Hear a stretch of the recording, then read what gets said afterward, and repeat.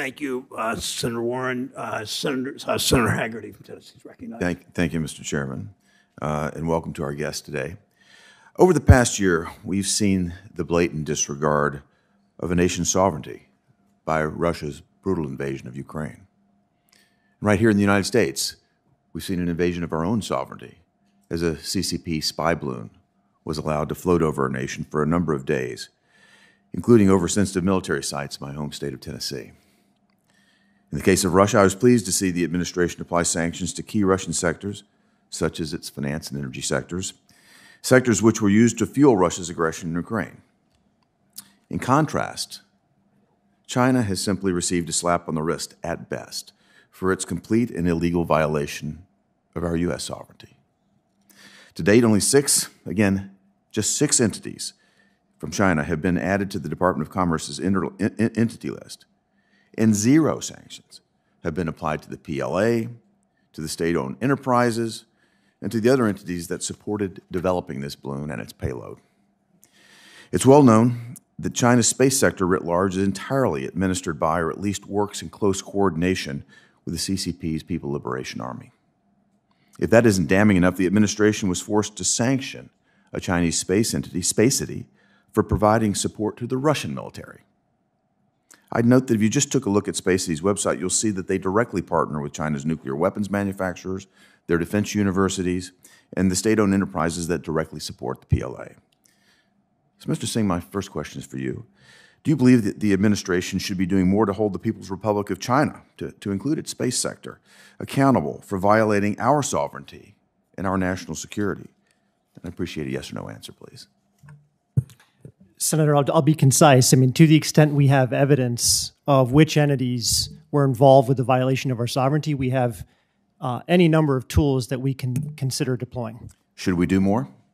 I've not seen the forensics, but we certainly have the capacity. I think it's clear to the American public the warning is needed to be done. Mr. Singh, I'll stay with you on this.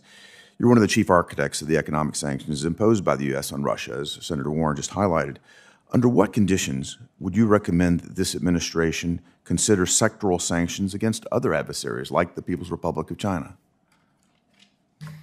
Senator, so the the conversation about what tools to use has to start with the strategy. What's the objective?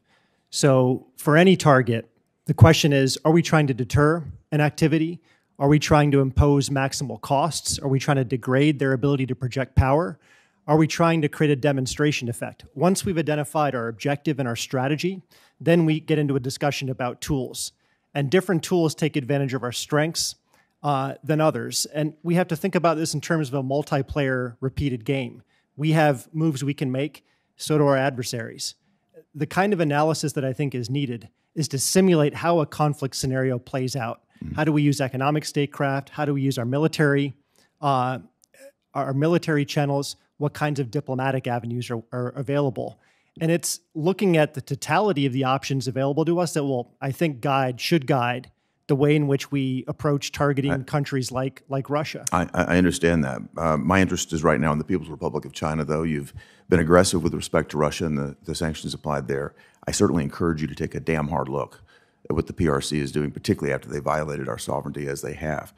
Mr. Wolf, I want to turn to you. The question is being that you're the only witness here today that's worked at BIS, do you think it's appropriate for this administration to allow U.S. technologies to be exported to China, technologies that advance the People's Liberation Army's military modernization efforts, including its near space and its space programs?